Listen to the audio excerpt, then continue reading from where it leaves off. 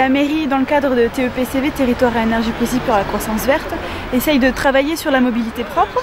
Dans ce cadre, elle essaye de, changer sa flotte de véhicules grâce à des véhicules électriques. Donc aujourd'hui, on essaye de, de, changer au maximum nos véhicules gasoil ou diesel par des véhicules électriques. Donc on a acquis deux nouveaux véhicules électriques, donc des véhicules utilitaires légers euh, qui sont 100% électriques. Donc on passe aujourd'hui donc de 78 véhicules en total, on a 10 euh, véhicules actuellement qui sont déjà électriques.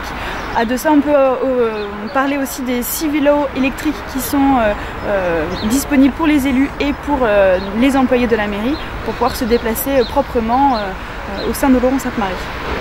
Alors actuellement pour l'ensemble des, citoyens, nous avons euh, deux charges qui sont à disposition, donc euh, une borne de recharge à la mairie, une borne de recharge à la gare.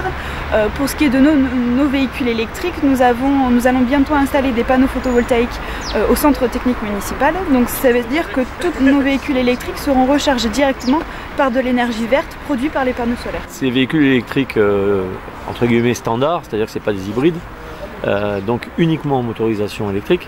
Euh, c'est des véhicules qui font 68 kW, donc avec une autonomie entre 150 et 200 km selon l'utilisation qu'on en a.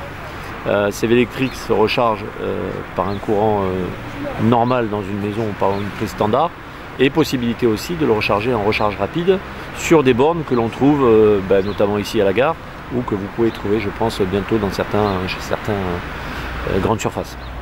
Donc euh, cette autonomie euh, est largement suffisante pour des véhicules d'utilisation ville. On garde la spécificité d'un véhicule utilitaire, donc avec euh, fourgon, chargement, etc.